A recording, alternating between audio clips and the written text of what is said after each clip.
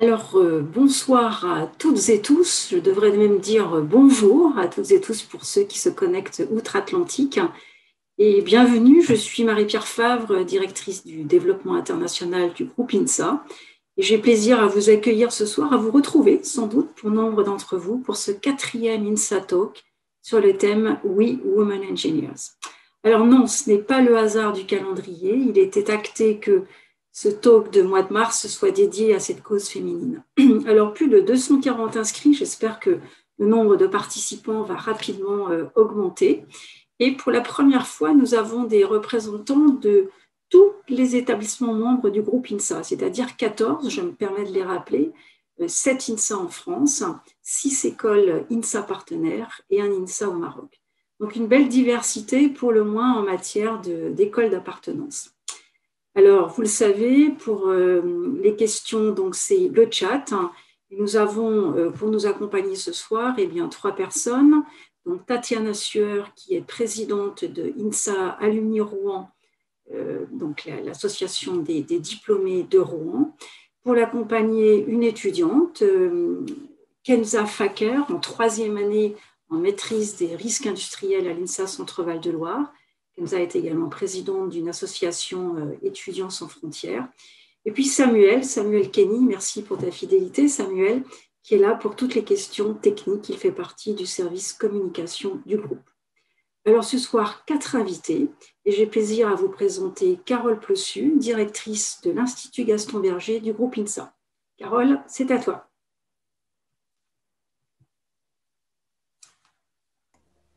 Bonjour, bonjour à toutes et à tous. Tout d'abord, merci Marie-Pierre de m'avoir euh, euh, invité à introduire cette, cette rencontre. Euh, je suis directrice de l'Institut Gaston Berger et au niveau du groupe INSA. L'égalité femmes-hommes est une thématique centrale des actions de l'Institut Gaston Berger et euh, également des centres Gaston Berger qui sont en train ou qui sont créés ou qui sont en train de se créer euh, au sein de chaque INSA. Et nous travaillons depuis deux ans euh, en synergie entre les INSA. Au-delà de la thématique du genre, l'IGB est, vraiment sa mission, c'est vraiment de porter, de développer le modèle INSA, notamment dans sa dimension inclusive, et d'ouverture à toutes les diversités, qu'elles soient sociales, euh, académiques, territoriales ou en direction des élèves euh, en situation de handicap. Alors, cette soirée, pour moi, est vraiment l'occasion idéale de, vous faire un petit bilan de la situation actuelle et de son évolution ces dernières années en ce qui concerne la mixité femmes-hommes dans, les INSA. Alors, les tendances sont très, très positives. Euh, actuellement, euh, dans l'ensemble des INSA, euh, le, pourcentage moyen de filles est de 35% sur l'ensemble des cinq années du cursus et sur l'ensemble des INSA. Ce taux, il était de 30% en 2015 et il était encore inférieur les années précédentes. Donc en cinq ans, une belle, une belle progression, d'autant plus si l'on se compare à l'ensemble des écoles d'ingénieurs en France, où le taux est actuellement de 28% et qui stagne, qui stagne depuis plusieurs années et voire même régresse depuis un an ou deux. Donc, euh, nous en sommes euh, évidemment euh, très, très satisfaits de ces tendances qui sont les mêmes dans tous les INSA. L'augmentation du taux de, femmes est, la même dans, dans tous les INSA. Et ce qui démontre euh, vraiment une forte attractivité de notre modèle INSA euh, en direction euh, des filles par son environnement, par son nom, par son offre de formation, par sa diversité en termes de, de formation, mais également ses sections art études, ses filières internationales. Donc une très très forte attractivité pour les filles et encore plus importante pour les lycéennes puisque en, admission post-bac, euh, le taux est de 42% au niveau du groupe INSA cette année, en très forte augmentation depuis 10 euh, ans. Il a même atteint le, taux record de 47% euh, à l'INSA Lyon cette année. Donc voilà, vraiment, on est presque, on peut dire qu'on est presque à la parité. Hein. et, ce qui reflète en fait le, le pourcentage de, filles parmi les lycéennes en, terminale S. Alors, est-ce que tout est gagné pour autant? Ben non, pas complètement. Hein. Il y a encore beaucoup d'efforts à faire pour lutter contre certains euh, stéréotypes et certaines inégalités qui subsistent. Euh, notamment, euh, la mixité n'est pas du tout au même niveau suivant les spécialités d'ingénierie. Et vous vous en doutez, les, les, filières dans l'informatique et le numérique restent beaucoup trop peu attractives pour les femmes. À l'inverse, dans certaines spécialités euh, telles que biosciences, euh, il y a très peu d'hommes. Donc, euh, au niveau de ces stéréotypes sur les métiers, les domaines d'ingénieurs, il y a encore du, travail à faire. Et puis également, les enquêtes d'insertion à la sortie des INSA montrent qu'il y a encore une différence de salaire entre les femmes et les hommes. Donc là aussi, il y, a de quoi faire. Voilà, donc euh, c'est ce, que, ce que je voulais dire euh, ce soir. Je pense que ça vous intéresse d'avoir, euh, surtout pour nos, diplômés, d'avoir cette, ce, petit état des lieux. Donc on est en, très bonne voie et on est très satisfait d'avoir autant de femmes parmi la communauté, la communauté étudiante. Voilà, je remercie, j'en profite pour remercier les ingénieurs qui vont témoigner ce soir. Euh, il est vrai que cette année, euh, nos étudiantes et nos étudiants, ils, ont, ils vivent une année euh, très difficile. je pense qu'ils se posent aussi beaucoup de, questions ou d'interrogations, voire d'inquiétudes sur leur future insertion professionnelle dans le contexte actuel. Voilà, Marie-Pierre. Très bien, merci beaucoup Carole pour ce propos introductif et qui marque bien sûr l'importance de la diversité, comme tu l'as souligné dans le modèle euh, ingénieur INSA, euh, et, toute l'ambition du groupe euh, à cet égard. Alors, l'INSA Talk, c'est un, nouveau concept, relativement nouveau, hein, qui a été lancé en, décembre dernier, et je suis certaine que certains d'entre vous ont déjà pu assister à, quelques talks dans ces mois derniers. Alors, c'est un partage d'expériences, précisément, entre nos diplômés basés à l'international et les élèves ingénieurs INSA. L'occasion de créer, recréer du lien entre les diplômés et leurs écoles. C'est aussi euh, une, opportunité pour euh, valoriser vos réseaux, fédérer notre communauté INSA autour de valeurs de partage, de bienveillance, en y rajoutant bien sûr une touche d'international et de diversité ce soir. C'est euh, quelquefois euh, sur un thème très spécifique ou une question beaucoup plus transverse, comme euh, comme c'est le cas ce soir. Et enfin, tu le disais, Carole, tout à l'heure, à l'heure où vous, les étudiants, eh bien, vous êtes privés encore de mobilité internationale, c'est, je l'espère, une opportunité supplémentaire que nous vous proposons ce soir, en sus du thème qui nous anime aujourd'hui et qui devrait, je crois, nous animer les, tous les jours de l'année. Alors, avant de rentrer dans le vif du sujet, euh, je vais vous poser une courte question. Il y en a, je pense, pour 10 secondes, pour savoir un petit peu qui est là ce soir. Donc je demanderai de remplir. Ça va très vite, allez, encore une vingtaine de réponses. Je pense qu'il était intéressant, au-delà des inscrits, d'avoir la, participation euh, ce soir. Et je me permets de partager le résultat avec vous, encore une fois, pour nous, vous donner la, tendance euh, de notre public ce soir. Alors, désormais, nous avons trois diplômés, tous trois diplômés de l'INSA Lyon.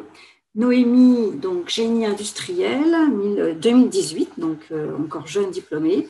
Elle est Strategic Planning Supervisor chez Dassault Falcon Jet à New York.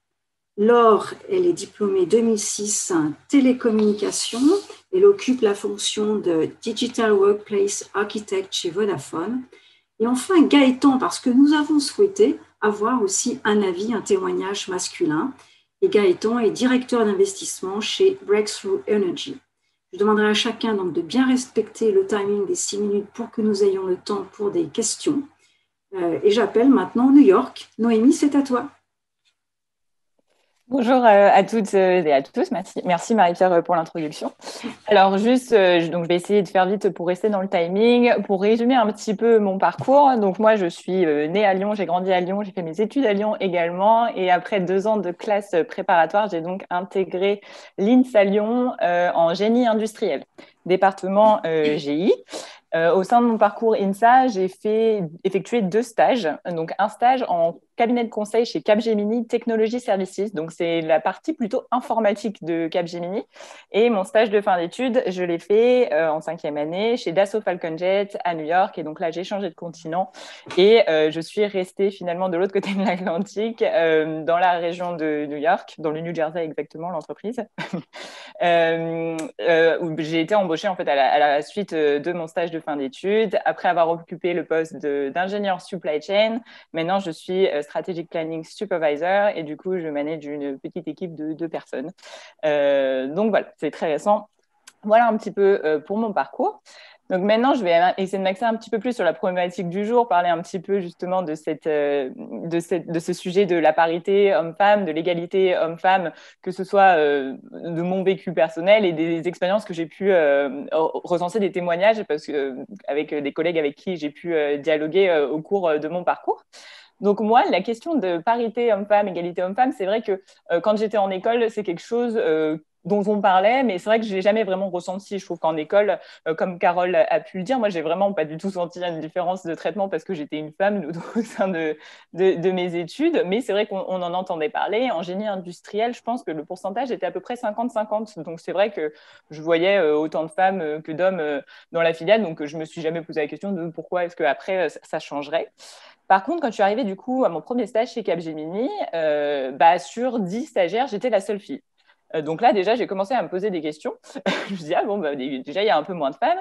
Et euh, Génie industriel propose quelque chose de très bien, je trouve, au niveau des rapports, c'est qu'en plus du rapport technique qu'on fait pour notre stage de quatrième année, il nous demandait un rapport management. Donc, on devait parler d'une problématique qui nous permet de prendre un petit peu du recul sur l'entreprise et pas que sur la partie technique de notre poste d'ingénieur. Et du coup, moi, j'avais décidé de, regarder justement cette problématique d'égalité homme-femme dans une entreprise telle que Capgemini, qui était du coup une entreprise plutôt orientée euh, informatique. Donc là, je me suis rendu compte qu'en fait, euh, il n'y avait que 24% de femmes euh, actuellement euh, chez Capgemini Technology Services quand j'y étais. donc c'est quand même un pourcentage assez faible. Et j'avais recensé quelques témoignages d'hommes et de femmes chez Capgemini. donc là, je parle de, Capgemini, mais c'est vraiment des problématiques avec qui j'ai parlé même avec des collègues maintenant chez Dassault et c'est des, choses qui, reviennent vraiment. Donc je, trouve, je trouvais que c'était assez intéressant. Et, et du coup, les, les questions que j'avais posées, c'est est-ce que pour vous, c'était plutôt un avantage ou un inconvénient d'être une femme. Et euh, donc pour les hommes, euh, très peu arrivaient à citer des inconvénients d'être une femme en entreprise. Euh, beaucoup disaient que c'était plutôt un avantage selon eux. mais ils n'arrivaient pas à citer des inconvénients. Alors que pour les femmes, elles, disaient qu'il y avait des avantages. Souvent, les avantages qui revenaient, c'était bah, peut-être que c'était des échanges en, en, général un peu plus courtois que justement les hommes, ou des, quand on était dans une industrie ou une entreprise d'hommes, c'était plutôt bien vu par euh, les clients extérieurs, par exemple, euh, d'arriver et d'être une femme. Ils étaient plutôt agréablement surpris. Euh, et par contre, en inconvénient, bah, c'était clairement l'accès à des postes à haute responsabilité. Ça, c'était un des points phares. Et aussi quelques remarques sexistes qui pouvaient arriver en tant que femme. Et ben, on se prenait de temps en temps quelques remarques sexistes de la part de nos collègues ou de clients ou d'autres, qui pouvaient être sur des remarques sur le physique, euh, des remarques beaucoup liées aussi au rôle de mère. Euh, c'était des, problématiques qui, revenaient euh, souvent. Et euh, enfin, euh, un des chiffres intéressants, c'était que beaucoup des hommes euh, que j'avais interviewés ne pensaient pas qu'être une femme, en fait, bloquait l'accès à des postes à responsabilité. Donc, petit astérix, les hommes interviewés étaient plutôt jeunes. donc, ça peut aussi expliquer pourquoi il y avait cette idée que pour eux, d'être une femme ne devait pas bloquer, enfin, ça n'avait aucun sens de, bloquer un accès à un poste à responsabilité. Par contre, là, 75% des femmes, elles se sentaient menacées. Enfin, le fait d'être une femme, pour elles, a été potentiellement bloquant pour accéder à des postes à responsabilité, et donc ce fameux euh, plafond plafond de verre. Euh, chez Dassault Falcon Jet, moi, à New York, bah, euh, différents continents, mais exactement les mêmes problématiques. Hein. Donc ça, c'est une différence. Il y a certes des différences culturelles, mais c'est vraiment une, problématique universelle. Et actuellement, au siège de Dassault, là où je, suis, je je, il y a zéro directrice. Au grade de directrice, je pense qu'il y a zéro directrice. Quand on regarde le board de Dassault Aviation, parce que du coup, Dassault Falcon est la filiale américaine de Dassault Aviation, euh, il y a une femme, je crois, actuellement, qui est une ancienne euh, directrice des ressources humaines. Donc voilà, donc on a une directrice des ressources humaines, c'est vrai, mais autrement, il n'y a pas de femme au poste de directrice. Euh, donc on voit que c'est des structures très pyramidales où les postes de management sont majoritairement réservés aux hommes. Et donc, on sent quand même qu'il y a potentiellement ce plafond de verre, même si moi, du coup, je ne l'ai pas encore expérimenté de ma propre, euh, de ma propre expérience. En levant la tête, en observant autour de soi, on se rend compte de ces différences. Euh, donc, pour essayer de garder le timing, je vais, dire deux, trois points sur lesquels je pense euh, qui sont importants, sur lesquels il faudrait réfléchir. C'est, euh, comme le soulignait Carole, je pense que là où il faut vraiment agir, c'est l'accès aux études d'ingénieurs pour les, pour les femmes et pour les filles. Il ne faut, faut, pas que les filles se censurent en fait sur des sur euh, des, fonctions en disant bah non ça c'est quelque chose qui va plus être pour les hommes que ce soit l'informatique ou l'aéronautique notamment. Moi du coup j'ai vraiment vu les deux. Et ce sont deux, deux études qui en général euh, attirent beaucoup les hommes et moins les femmes. Donc si on arrive déjà à avoir plus d'étudiantes euh, en aéronautique d'étudiantes en informatique bah déjà ça pourrait un peu aider. Et ensuite je pense que ce qui est aussi important, c'est de, peut-être penser à restructurer aussi l'entreprise actuelle. J'avais beaucoup aimé, justement, chez Capgemini, une femme m'avait dit euh, le problème de l'entreprise, c'est pas qu'elle a été construite contre les femmes, mais c'est qu'elle a été construite sans les femmes. Et, euh, du coup, je pense que ça, c'est intéressant dans le sens où il faudrait en fait arriver à changer un peu l'entreprise en prenant en compte les femmes et les hommes. On ne va pas reconstruire une entreprise sans les hommes non plus. Hein. il faut justement les inclure. Et c'est pour ça mon troisième point, je pense qu'il est très important et qui est bien reflété ce soir euh, dans l'Insal Talk avec euh, Gaëtan, euh, c'est qu'il faut inclure les hommes, je pense, au débat et qu'ils se sentent eux aussi concernés et qu'ils comprennent un peu les problématiques auxquelles font face bah, les femmes aujourd'hui en entreprise. Donc voilà, je pense que j'ai tenu le timing de six minutes. Merci, beaucoup Noémie. Euh, et, donc retour cette fois en Europe avec euh, Laure à Londres. Bonjour à tous. Euh, donc la façon dont on pourrait me décrire, c'est 36 ans, mariée, deux enfants. Donc ça, c'est la façon très très classique. après, ce que j'ai envie de rajouter, c'est que ça fait 20 ans du coup que je connais l'INSA euh, et 15 ans que je travaille. Donc euh, depuis, donc je suis sortie effectivement en 2006 et euh, j'ai fait des études en télécom, donc un domaine qui est quand même très très masculin. À l'époque, on était tous filles sur une promo de 85 personnes, donc il y avait quand même déjà un clivage assez important. et puis bah, depuis, effectivement, je travaille vous avez vu, hein, je pense que euh, je travaille euh, avec des postes très très différents. J'ai fait du commerce, de l'avant-vente, euh, j'ai travaillé dans le marketing, j'ai été directrice technique sur des sur des sujets de télécom où on construisait des services pour nos clients. donc avec des ingénieurs de réalisation donc qui vont sur le terrain chez nos clients pour installer des, des composants technologiques j'ai été chef de produit et aujourd'hui je refais effectivement de l'avant-vente euh, et de l'architecture.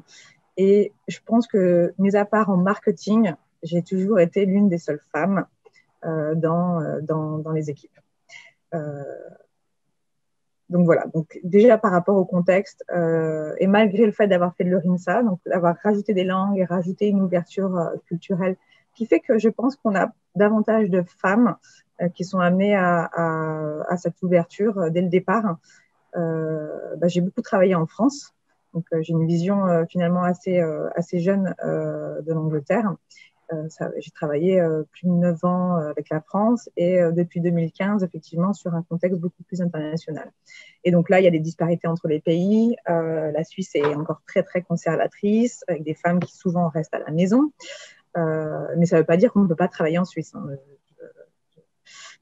Je vous, rassure, j'ai travaillé pour des clients suisses et euh, ce sont des gens euh, avec qui on peut tout à fait travailler en tant que, femme.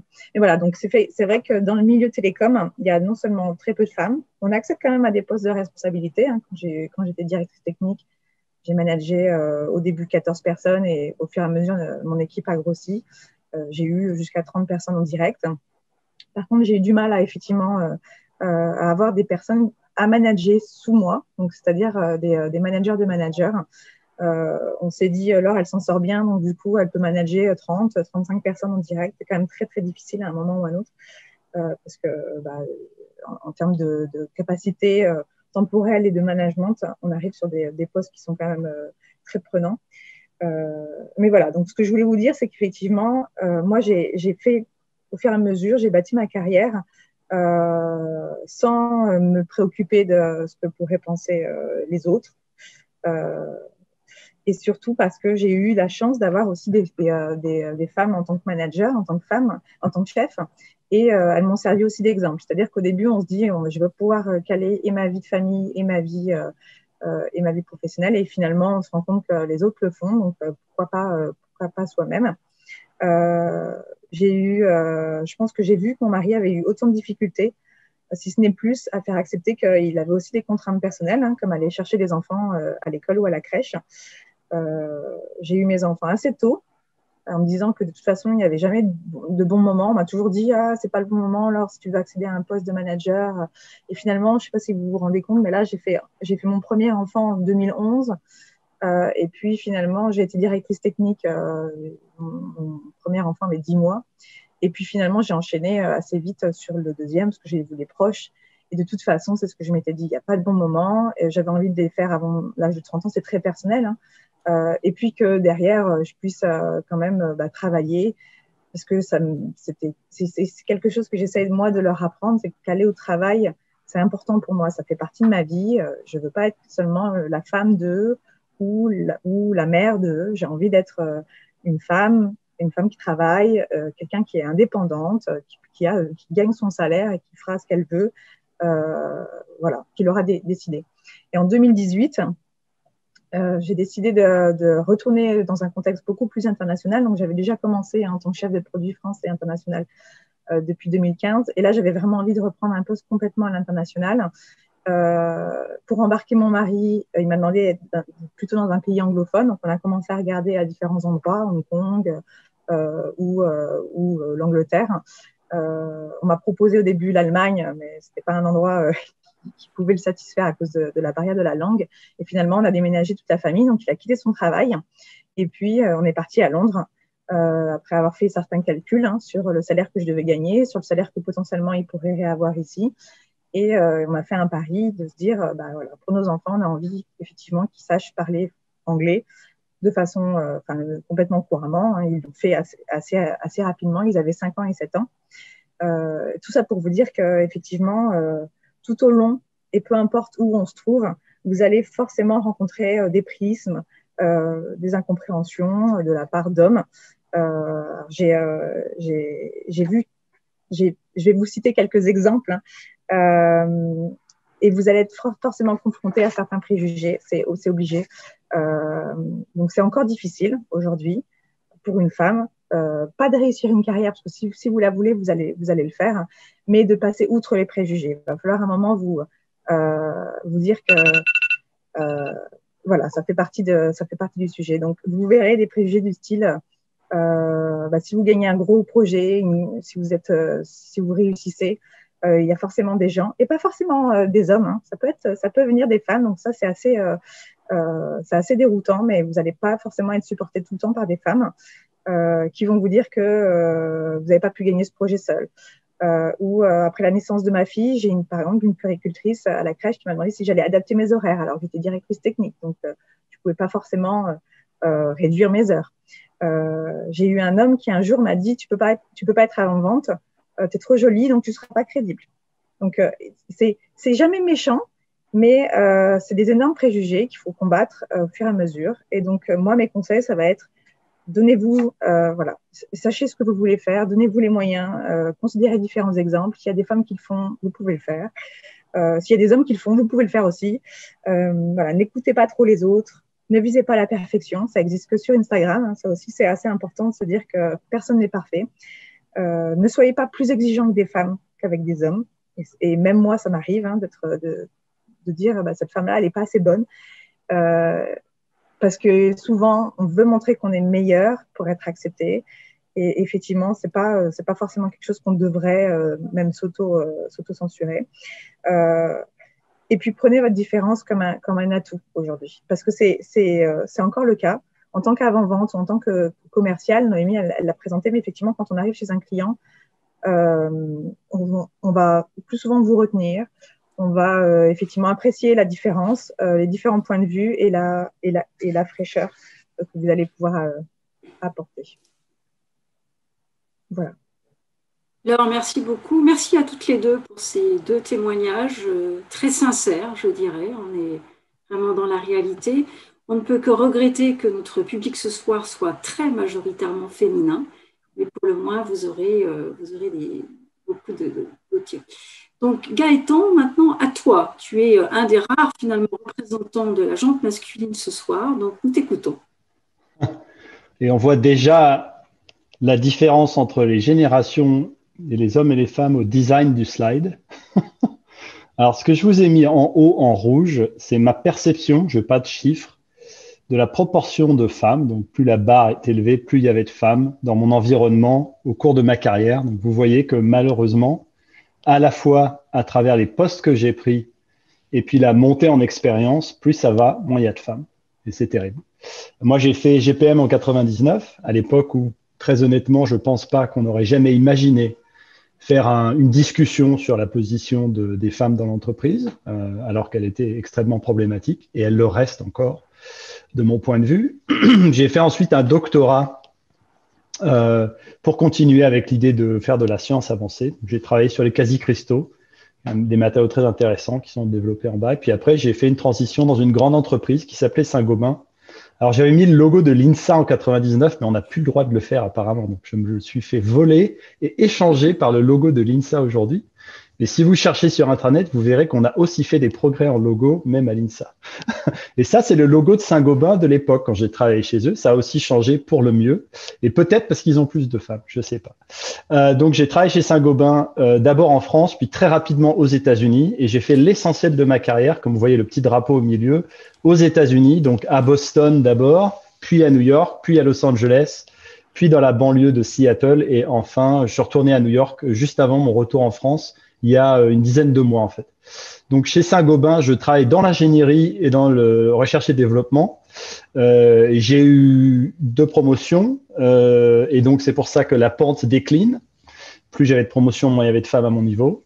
J'ai ensuite voulu faire de la start-up dans l'environnement.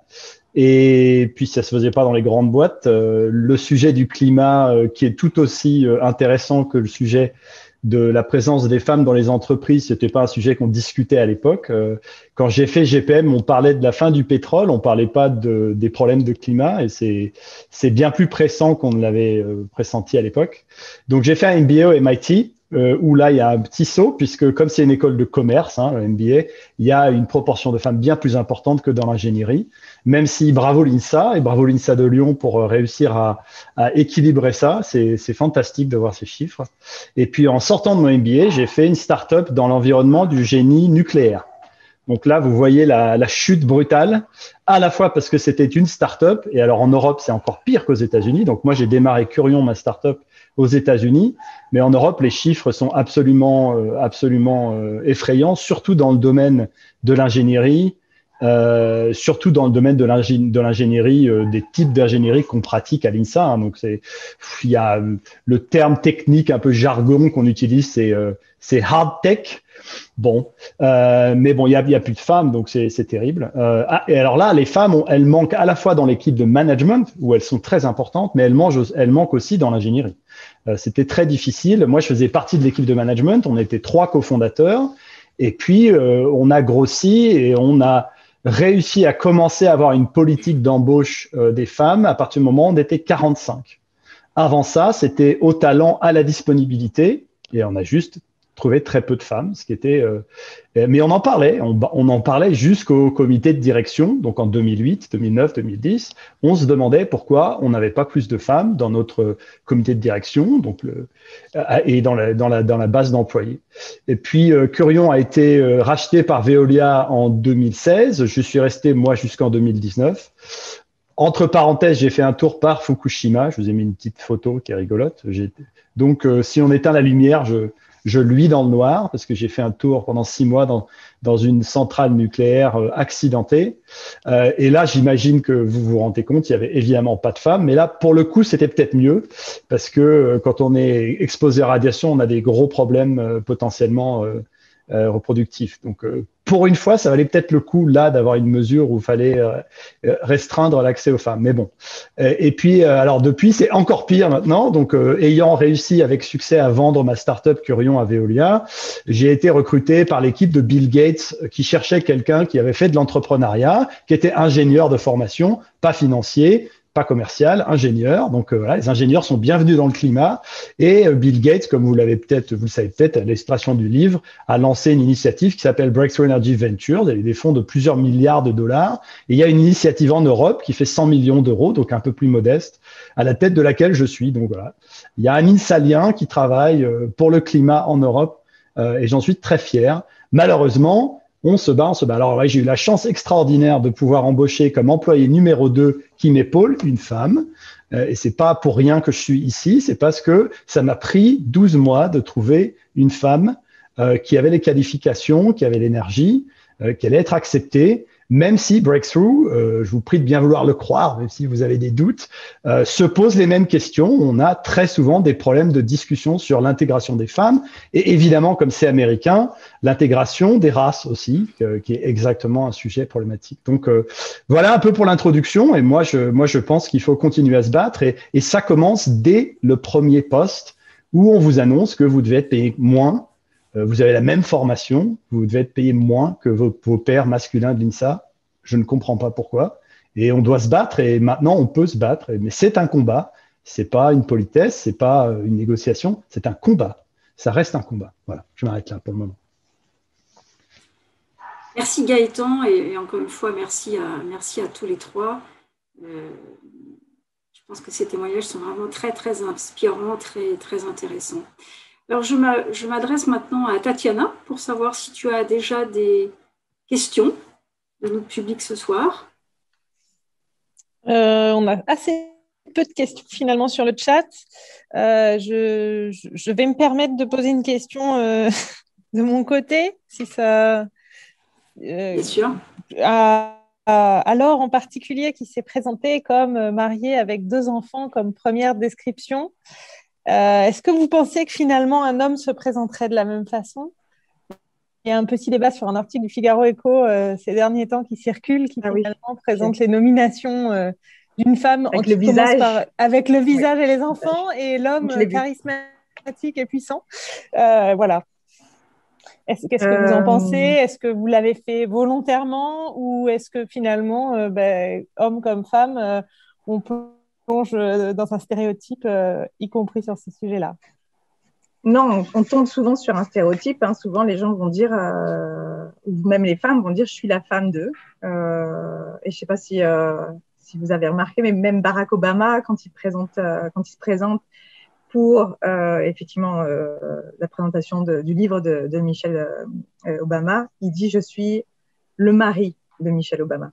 Donc, enfin, c'est la façon de se présenter, elle est extrêmement importante.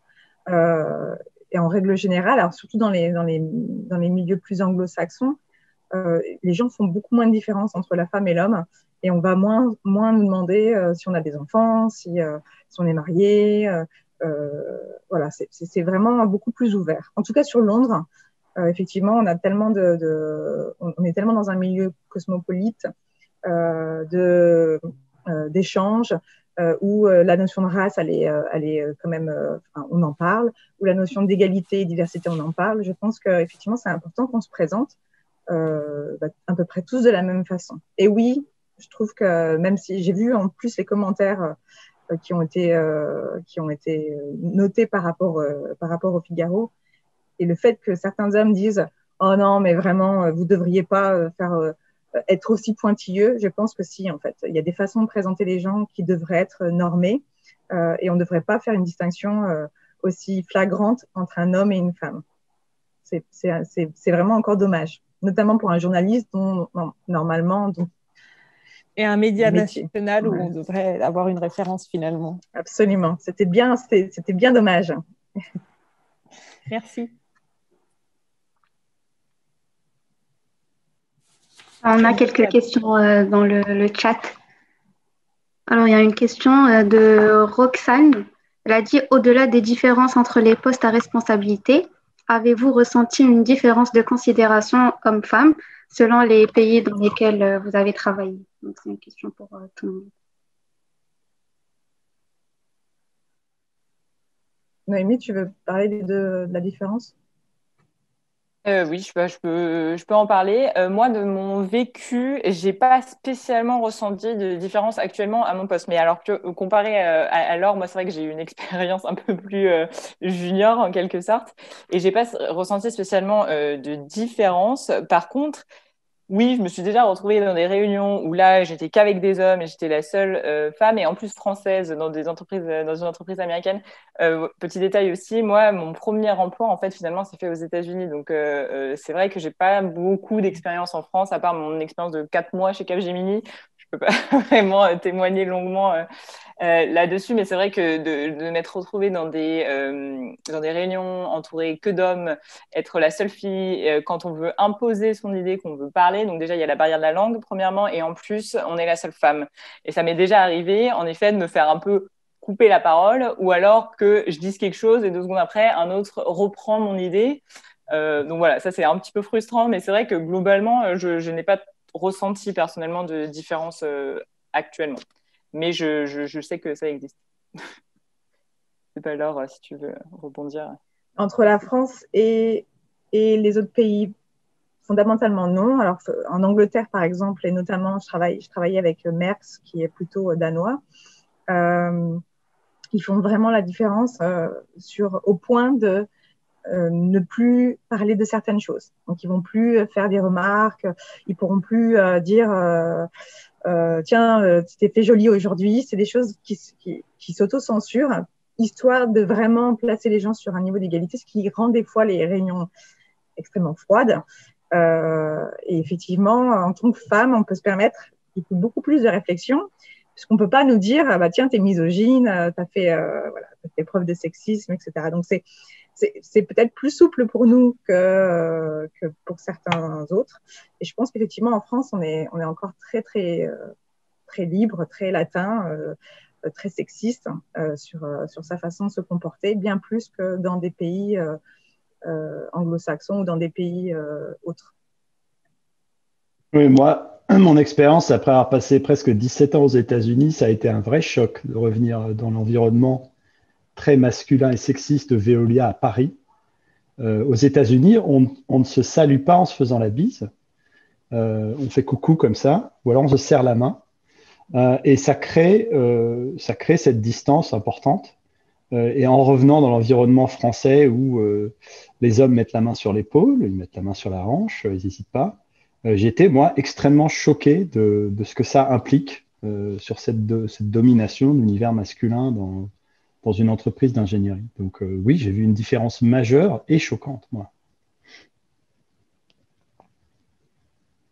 Moi, je pense qu'en France, euh, il y a encore des hommes qui, pensent qu'ils peuvent élever la voix aussi et se faire entendre plus parce que euh, qu'ils ont une capacité de volume plus importante. moi, on m'a déjà demandé de prendre des notes. Alors, j'ai dit, ben je suis une directrice technique comme les autres, donc je ne prendrai pas plus de notes que les autres. J'ai eu aussi une réflexion sur, mon deuxième congé maternité, euh, alors que j'avais tout délégué sur deux, hommes et donc euh, il n'y a pas eu plus de, plus de, tâches à, réaliser pour mon manager. Euh, oui, je pense qu'effectivement, quand vous allez rentrer dans un contexte, alors plutôt français, je pense, mais dans une réunion, pour peu que vous ayez un profil technique, les gens vont s'attendre en se disant ah bon, vraiment, est-ce qu'elle est technique? Ils vont lancer deux trois, deux, trois questions qui fait que si vous répondez bien, après, c'est beaucoup plus facile. Et je pense que c'est vraiment un avantage d'être une femme, puisqu'on va se souvenir de vous plus facilement. Et effectivement, les gens sont peut-être plus accueillants et vous allez apporter quelque chose d'autre. Par contre, les dix premières minutes ou le premier quart d'heure va être potentiellement plus, plus difficile. Encore, malheureusement. Mais peut-être plus à votre génération. Et là où vous êtes, je pense que vous avez déjà, voilà, si vous êtes déjà à l'INSA, c'est que vous êtes déjà passé sur certaines barrières, vous avez déjà fait l'effort euh, de ne pas écouter euh, la culture autour de vous ou les environnements qui vous disaient que ce n'était pas forcément euh, un bon choix et, c'est que vous avez le, tempérament. Ça, je l'ai aussi beaucoup entendu, c'est que les personnes qui sortent de l'INSA, notamment les femmes, on m'a demandé si elles étaient faites sur le même moule. Alors, c'était des femmes qui sortaient de télécom, hein, parce qu'on était toutes avec une forte personnalité, avec un fort caractère, et on disait ce qu'on pensait. Et je pense que d'avoir été formé, entre guillemets, dans des environnements d'hommes à l'INSA, si on veut s'en sortir et si on veut être là où on est, c'est aussi parce qu'à un moment, on va se faire entendre. Sinon, ben, quelque part, on sera oublié et c'est là où on ne pourra pas accéder à des postes de management. si vous êtes quelqu'un qui est très, très, très discrète, euh, forcément, euh, on va avoir du mal à vous, à vous mettre en avant ou à vous promouvoir. Donc, n'hésitez pas à faire entendre votre parole, c'est très important.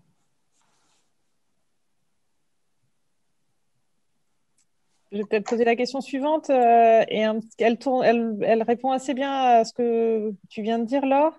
Pas mal de questions sur le chat sur les salaires. Euh, le salaire d'embauche des hommes et des femmes est-il différent? Et puis des interrogations sur la possibilité de négocier. Et j'étendrai un petit peu sur euh, un peu cette chose qu'on dit beaucoup sur le fait que les femmes négocient moins leur salaire que les hommes et que finalement la première cause de différence salariale à l'embauche, c'est que les femmes négocient moins leur salaire que les hommes. Gaëtan, tu vas en parler, ça ou pas? Oui, alors euh, ben, la, réponse la plus directe, euh, c'est euh, ne sous-estimez pas votre puissance. Vous venez d'une très bonne une très bonne famille d'écoles d'ingénieurs.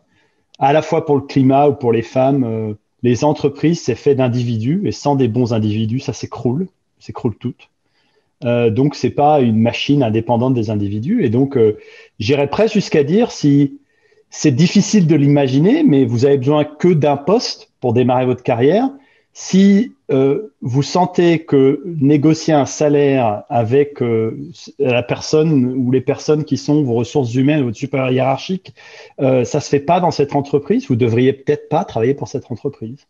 Et plus il y a de gens comme vous qui feront ces choix-là, plus ces entreprises-là s'écrouleront. C'est pareil pour le climat et, plus les compagnies qui respectent les femmes, qui respectent le droit à la négociation du salaire, brilleront. Euh, et puis ce sera la fin des autres. Hein. Donc euh, vous, vous parlez avec vos pieds. Et c'est dur de s'imaginer quand on sort d'une école d'ingénieur. J'ai des vagues souvenirs. J'osais à peine imaginer que, que j'allais pouvoir dire quoi que ce soit à Saint-Gobain, euh, même en tant qu'homme. et, mais en même temps, bon voilà, on est là en tant qu'alumni, qu'association de support pour dire que non, vous êtes important. Si vous êtes passé à travers 4, 5, 6 entretiens, et qu'on vous fait une offre, euh, c'est qu'on a, c'est qu'on a besoin et qu'on vous veut, vous, pas juste quelqu'un avec ce diplôme-là. Euh, vous avez euh, des traits de personnalité, des activités extracurriculaires, etc., qui se sont distingués. Et donc, y allez-y, il faut, il, faut, il faut avoir confiance en vous. Et si ça se passe pas bien, ben, il faut, faut pas hésiter à se dire, c'était pas une boîte pour moi. moi, c'est ce que je me suis souvent dit. tant pis, ils voulaient pas de moi tel que je suis, bah tant pis, je, vais trouvé. Alors c'est un peu effrayant au début, mais il faut y aller, quoi. Je suis assez d'accord. Donc, au début, euh, donc, je pense qu'au début, quand on sort de l'INSA hein, de mémoire, comme moi, j'ai fait mon projet personnel euh, humanitaire, on m'avait effectivement dit que les salaires n'étaient pas différents entre un homme et une femme qui sortent de l'école. Euh, donc, sur les premières années, on ne voit pas de différence. Effectivement, la différence, elle se fait au fur et à mesure par rapport à des changements de fonction, par rapport à l'arrivée du management et notamment bah, par rapport à ce fameux plafond de verre qui se situe à peu près de 30, 32, peut-être plus tard maintenant à l'arrivée des enfants parce que ça se fait de plus en plus tard. Ce qu'il faut savoir, c'est qu'aujourd'hui, la bonne nouvelle, c'est que les hommes prennent de plus en plus de place. Donc, ils gardent les enfants maintenant. Donc, un homme qui va dire, bah non, euh, je peux pas, euh, je euh, voilà, j'ai des contraintes personnelles, ça se fait aujourd'hui. Donc, il y, a beaucoup, je pense, il y a, il y a moins, de, il y a moins de, de, de différence entre un homme et une femme en termes de contraintes personnelles et, on parle de plus en plus d'équilibre euh, familial, euh, vie perso, vie pro, etc. Donc, euh, je pense que ça, ça va quand même gommer certaines différences. Et surtout, bah, n'hésitez pas. Quand je dis il faut savoir ce que vous voulez, ça, ça en fait partie. Même moi, j'étais sur le même poste que mon mari. Il était payé une fois et demie de plus que moi. Donc, il, est plus âgé. Mais on avait, on avait 18 mois d'écart d'expérience. Donc, c'était pas ça qui pouvait expliquer. On a fait vraiment le même poste. Hein. Quand je dis j'étais directrice technique chez Orange, il était directeur technique chez Orange, il était payé 80 000 quand moi j'étais payé 54, 55 000. Donc vraiment, euh, quand même une grosse, grosse différence. Et c'est là où je me suis rendu compte que j'avais très mal négocié mon salaire. J'avais pas été assez sûre de moi. J'avais trop voulu ce poste de manager et j'avais été prête à accepter quelque chose peut-être au détriment de ce que je valais vraiment. J'ai refusé des postes après parce que je considérais qu'ils étaient mal payés. Euh, je leur ai dit si je suis pas payée ce prix-là, euh, je n'irai pas. Donc ils n'y ont pas cru. Hein. Je pense qu'ils ont essayé de bluffer. J'y suis pas allée. Et j'ai finalement changé. Quand je vous dis j'ai changé de pays, c'est j'ai aussi renégocié complètement mon contrat pour aujourd'hui être payé exactement euh, ce qu'un homme serait payé sur mon poste. Donc, je suis pas mal payée aujourd'hui, mais effectivement, à un moment, je me suis dit c'est important pour moi de me valoriser au prix que j'estime être celui que, que je vaux et c'est vrai que ça demande un peu d'audace euh, et de prise de risque. Mais, euh, ça vaut le coup. Mais je pense qu'aussi, euh, quelque chose qui est important euh, de souligner, Laure, c'est que cette audace, il ne faut pas oublier qu'un homme l'aura sûrement plus que vous. Donc, peut-être qu'un homme junior, son premier salaire, il va avoir moins de, de, scrupules, en quelque sorte, à aller négocier. Donc, il ne faut pas se censurer. Et au contraire, il faut avoir confiance et euh, le faire euh, aussi. Vous avez tout aussi, euh, c'est pas parce que vous êtes une femme qu'on n'a pas le droit d'aller négocier son salaire, de négocier exactement tout ce que, ce que disait Laure, nos droits, et, etc. Et ce sera, ce sera pas mal vu, au contraire, et il faut le faire dès, dès le début. Je pense que c'est très important, et moi je le vois sur les salaires, et en plus, en étant aux États-Unis, les Américains savent très bien se vendre. Donc si on commence à s'écraser en plus, encore plus parce qu'on est des femmes, voilà, ça peut devenir vite compliqué. Euh, il faut vraiment ne pas hésiter, y aller, se vendre euh, vous êtes capable, en étant des ingénieurs INSA, vous avez des, compétences qui sont clairement euh, prouvées. Euh, vous pouvez le voir par tous les diplômés que vous voyez lors des INSA Talk. Donc, clairement, n'hésitez pas, vous valez les salaires que vous voulez.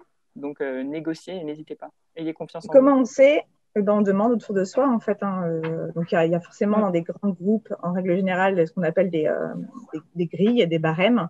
Euh, mais ce que vous pouvez assez facilement demander, c'est à combien, euh, combien est pris euh, un première année ou quelqu'un qui arrive, qui est à peu près dans, dans, la même situation que vous. Donc n'hésitez pas à demander aussi d'ajouter qu'il y a la, la, calculatrice issue de l'enquête du CNISF, Conseil national des ingénieurs et scientifiques de France, qui vous permet de façon très très simple, en disant où vous travaillez, la taille de l'entreprise, le type de poste, de savoir comment se situe le marché, les hommes, les femmes de ce marché, euh, et vous positionner. Il ne faut pas hésiter, c'est très pratique. C'est IESF, euh, le site internet. Glassdoor marche aussi, effectivement. Oui, là, euh, si je peux me permettre, si, les hommes arrivent à négocier, c'est qu'ils arrivent à trouver des informations sur les salaires. Donc, ce qu'il faut, c'est pas s'enfermer dans la boucle parce que l'information sur les salaires dit que les femmes, c'est 30% de moins, bah, j'ai pas le droit de négocier comme un homme. Il faut sortir de ça et il faut estimer que c'est inadmissible qu'une entreprise, surtout en, surtout en début de carrière, euh, c'est des barèmes, comme disait Laure. Hein, c'est les, les surtout les grosses entreprises françaises, si vous vous dirigez vers ça, vont dire que c'est un barème et donc ça devrait être complètement inadmissible et, et venu du passé qu'on paye une femme moins sur un barème qui qui est essentiellement lié aux années d'expérience et aux compétences. Après, quand on a 10 ans d'expérience, euh, c'est plus compliqué. Et encore une fois, il faut avoir des références, des amis, etc. Mais encore une fois, si les hommes y arrivent, qu'ils ont accès à cette information, euh, et, moi, moi j'avais une question dans le chat qui disait comment vous avez aidé les femmes? C'est une des sources d'aide que j'ai donné moi, c'est ne pas hésiter à donner les salaires. C'est-à-dire voilà comment on paye, voilà comment moi je suis payé, voilà comment j'ai mon bonus, voilà comment mes potes sont payés. Euh, si tu cherches un poste dans tel endroit, je vais demander à un pote à moi combien il pense qu'il paierait, etc. Et c'est vrai que c'est une source importante euh, d'accéder à l'égalité, c'est d'aller sur le salaire, ça c'est sûr. Et renégocier, j'ai eu une question sur renégocier, ça, ça, ça me semble très difficile. Hein. Renégocier, c'est très difficile, je pense. Renégocier euh, après coup, c'est vraiment, vraiment difficile, je peux vous le dire. C'est aussi l'une des raisons pour lesquelles, une fois que j'étais admise, j'ai dû vraiment quitter, moi, quasiment mon entreprise parce qu'on va toujours vous dire oui, mais je ne peux pas faire plus que 8% d'augmentation. Mais je leur disais 8% sur rien, ça fait toujours rien. Il ne faut pas être euh, un génie euh, mathématique pour euh, comprendre ce genre de formule. Donc, donc effectivement, et à un moment, il faut oser dire non, c'est important pour moi, je m'en vais. Et, tant pis pour vous. Enfin, et je pense que Gaëtan, il a raison là-dessus, c'est tant pis pour eux. Il y a un moment où il faut savoir ce qu'on vaut. Et il y, a, des postes partout. Hein. moi, je suis toutes les semaines. Euh, et là, je vais changer euh, dans trois mois, donc euh, le temps que l'offre arrive. Et j'ai fait pareil. Je n'ai pas négocié au début. Et c'est parce que je suis partie courir avec une amie qui m'a dit tu devrais, tu devrais négocier. Je voulais pas négocier beaucoup, mais tu devrais négocier, même si c'est déjà bien. Et, euh, et j'ai négocié. Et finalement, j'aurais plus. Et je l'aurais potentiellement pas fait. Donc, j'ai encore des très mauvaises habitudes qu'il faut moi-même que je, que je corrige. Mais n'hésitez pas à négocier. De toute façon, au pire, on vous dit non. Donc, euh,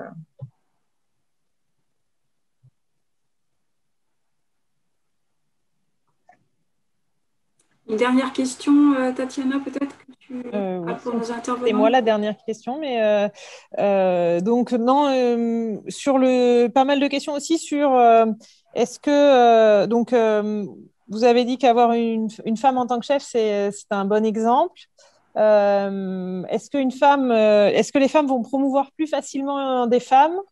Et est-ce que globalement vous avez reconnu plutôt de l'entraide et euh, et est-ce que vous, vous avez soutenu des femmes aussi dans votre carrière pour, euh, pour accéder à des postes à responsabilité en essayant de, de faire jouer ce réseau euh, féminin? En règle générale, oui. après, il n'y en a pas beaucoup, hein, donc c'est ce qu'on dit. Hein, c'est plus il y en a dès le départ dans les écoles d'ingénieurs plus on a facilité à accéder à des, à des, à des CV. les deux premières personnes que j'ai embauchées quand j'étais chez Orange, où j'avais un, poste de manager, personnellement, moi, j'ai embauché des femmes. Euh, ça a fait énormément de bien à l'équipe. Hein. même les, je pense que l'ensemble des, euh, des, hommes étaient quand même assez contents de voir qu'on commençait à enrichir un petit peu plus euh, la, bah, la, diversité au, sein des équipes. après, c'est pareil, donc se battre effectivement au niveau du salaire. Moi, on m'a demandé pourquoi je me battais pour même des hommes hein, que j'ai embauchés avec un salaire plus élevé que le mien. Euh, je leur ai dit, ben, parce que aujourd'hui, je sais le taux d'augmentation que je peux, euh, donner à mon équipe. Et euh, au mieux, je les embauche, le mieux c'est. Qu'il faut quand même savoir que en, industrie française, si vous, êtes, si vous avez 1% d'augmentation par an, c'est le bout du monde. Et on ne pourra pas augmenter tout le monde. Donc, il faut vraiment aussi prendre ça en considération. Le salaire à laquelle vous allez être embauché, il va très peu évoluer à moins de effectivement de bouger de poste et de, savoir se revaloriser sur, euh, certains postes. Euh, donc euh, après, oui, il y a des entraides. Alors nécessairement dans les grands groupes, vous avez quand même des gros programmes de diversité parce que c'est quand même un sujet qui est assez important. Euh, parce que c'est prouvé que d'avoir un, une équipe complémentaire, donc c'est pas que des femmes ou que des hommes, hein, c'est vraiment une équipe complémentaire euh, et riche et diverse, ça crée énormément de enfin, un meilleur taux de croissance et plus de performance. Donc, euh, les entreprises ne le font pas juste euh, euh, par, par pédagogie ou, ou, ou, pour se donner bon genre. Elles le font aussi parce que derrière, il y a les chiffres qui prouvent qu'effectivement, davantage de, diversité augmente la performance. Laure, Noémie, Gaëtan, merci beaucoup. Merci euh, à, tous les participants, Tatiana et, Kenza, bien sûr. Alors, je retiens audace, prise de risque, ambition, courage. Quel serait le dernier conseil que vous souhaitez euh, donner à nos, élèves ingénieurs euh, ce soir? En, quelques mots, à tous les trois. Alors moi, j'aurais juste envie de vous dire, choisissez bien, alors si vous avez envie de, ne pas être seul, euh, choisissez, bien votre partenaire. Euh, euh, c'est une personne qui, va, qui doit vous considérer comme, comme son égal dès le départ, c'est-à-dire le partage des tâches ménagères, le partage de la garde d'enfants. Et c'est 50-50. Hein, quand je vous dis on compte les points, oui, on compte les points. Moi, si je m'en vais et que je ne peux pas m'occuper des enfants pendant deux jours ou trois jours en déplacement, bah, je vais devoir le remplacer à un moment ou à un autre. donner de l'espace à l'autre. Un homme est aussi capable sur plein d'autres choses euh, de faire, euh, de, cuisiner, euh, de de faire des choses artistiques avec les enfants et puis et puis voilà communiquer vraiment si vous, sentez quelque chose qui vous pèse communiquer avec l'autre personne. Et comme moi j'ai voulu partir à l'étranger il m'a soutenu et je pense que ce soutien il faut qu'il soit mutuel et c'est important que ça se passe dès le départ. Si vous sentez qu'il y a déjà une domination particulière c'est que c'est pas la bonne personne qui vous qui vous encadre. Merci Laure Noémie euh, moi, le dernier mot, ce serait ben, ne vous autocensurez pas, justement, ce qu'on disait, l'audace, foncez, euh, n'ayez pas peur, parce que les hommes n'auront pas peur, donc faites pareil, prenez euh, le taureau par les cornes, comme on dit, et allez-y. Et aussi, je pense qu'on disait d'inclure les hommes, il y avait quelques questions là-dessus, inclure les hommes dans le débat, c'est très important. Et moi, je serais vous, je n'hésiterai pas, si parfois vous avez justement, vous êtes en France, vous avez des petites remarques sexistes, de manière subtile, vous pouvez très bien les faire remarquer gentiment, parce que c'est aussi un travail que les hommes doivent faire, et parfois ils se rendent rendent juste pas compte de certaines remarques. Pour eux, c'est normal, c'est dans la culture. Donc n'hésitez pas à le faire euh, remarquer de temps en temps quand euh, il y a des remarques sexistes comme ça. Ils rentrent un peu dans, dans le débat et ils commencent à comprendre un peu. Voilà. Gaëtan? Moi, je dirais, créez-vous un réseau professionnel.